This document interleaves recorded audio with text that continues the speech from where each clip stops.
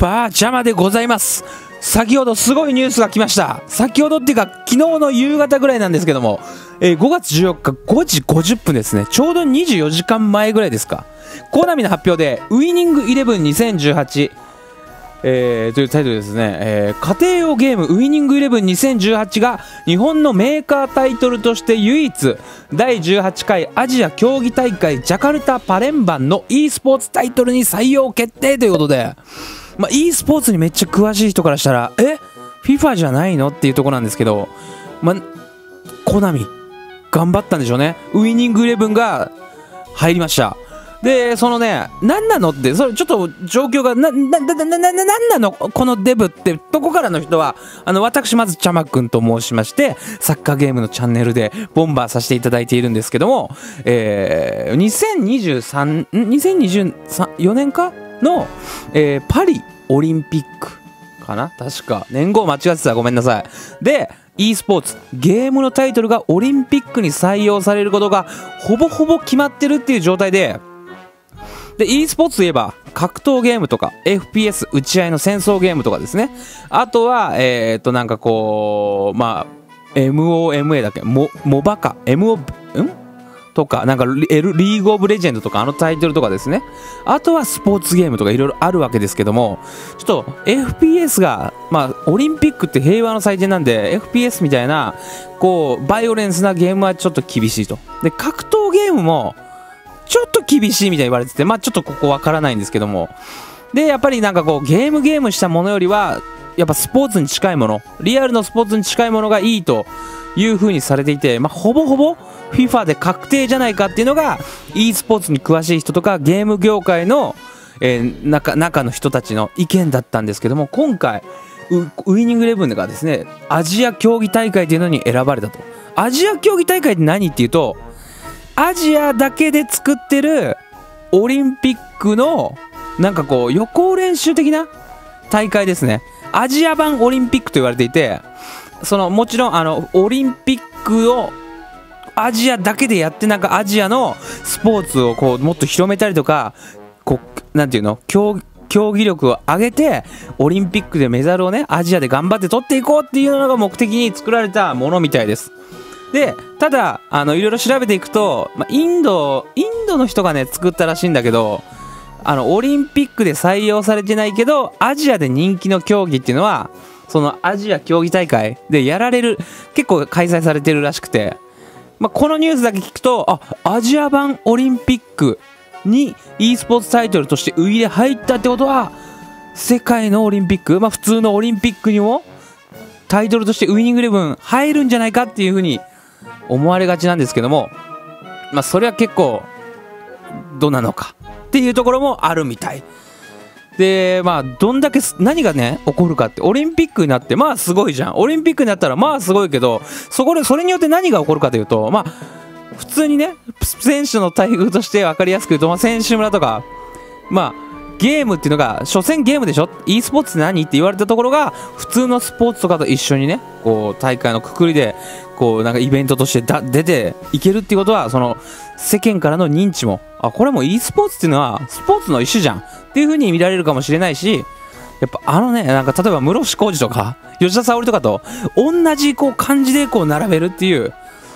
単純に人としての喜びもあるし、あとはオリンピックの種目になった場合は、そのせその例えばあのよく聞くのがあの強化指定選手、あるいは強化指定選手って何っていうところなんですけど、お金がもらえるらしいんですよ。スポーツに。あなたはメダルを取れるかもしれないと。日本代表にね、メダルをもたらすかもしれないので、こう頑張ってくださいっていうことで、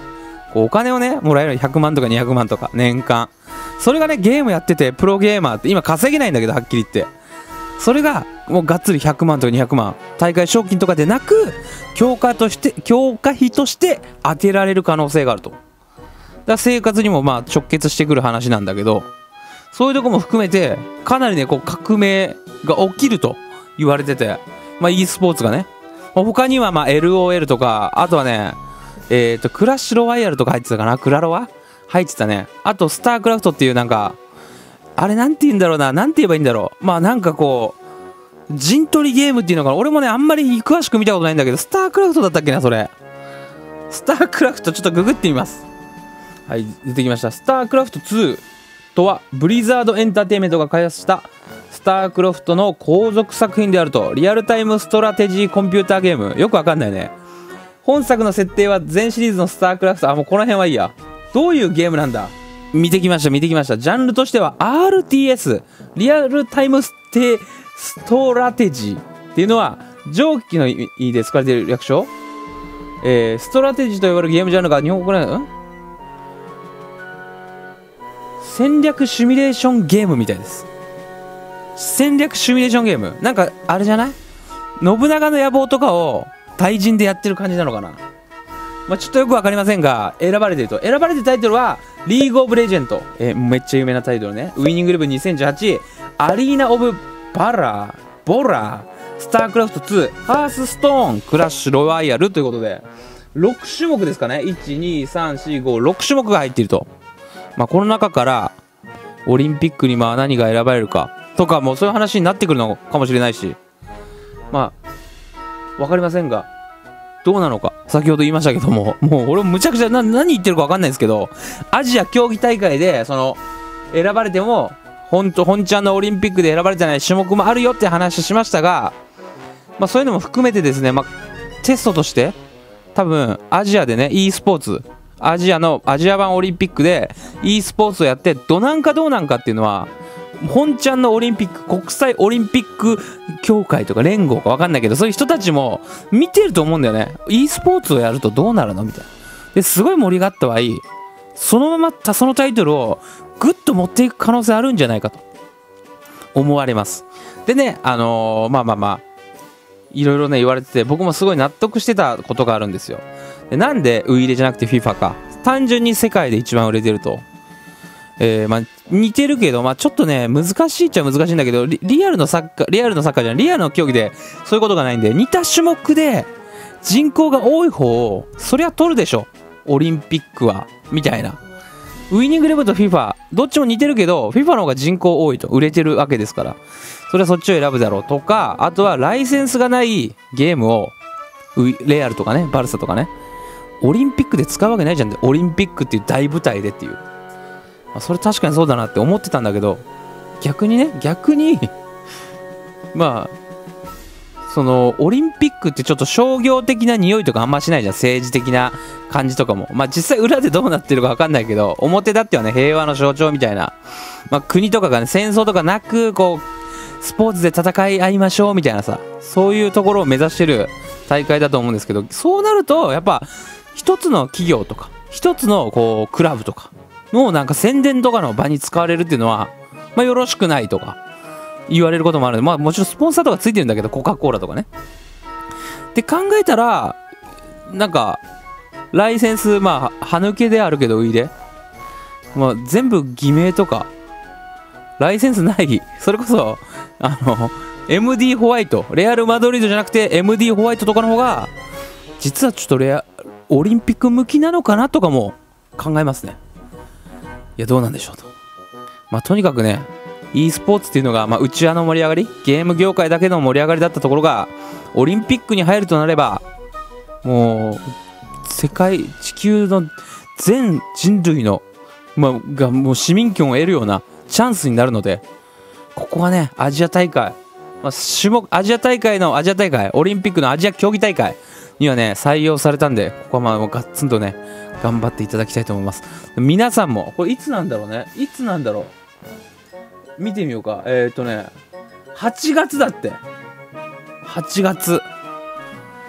これがまあてか早くね。あと3ヶ月とかじゃん。これどうなっていくのか分かりませんが。今から狙頑張って。まだ間に合うんじゃないですか皆さんも。もしかしたら強化指定選手的な感じでお金とかももらえるかもしれないし。単純にねゲームやっててオリンピックに出るっつったら周りの人間の目も変わりますからね。お前すげえなみたいな。そこをねやっぱサッカーゲーム好きウイイレ好きがならねそこを目指してみてもいいとは思いませんでしょうかということで、まあ、最近ちょっとおしゃべり動画が多いんですけどこのじこの時期ねやっぱちょっと自作とかのニュースが多くなるんでそこはねちょっとご勘弁願いたいと思いながら明日ねまた試合動画撮りますんでぜひぜひ楽しみにしておいてくださいということで。このことに関して皆さんの意見を聞かせてください。最後までご視聴いただきましてありがとうございました。コメントチャンネル登録よろしくお願いいたします。さようなら。パー。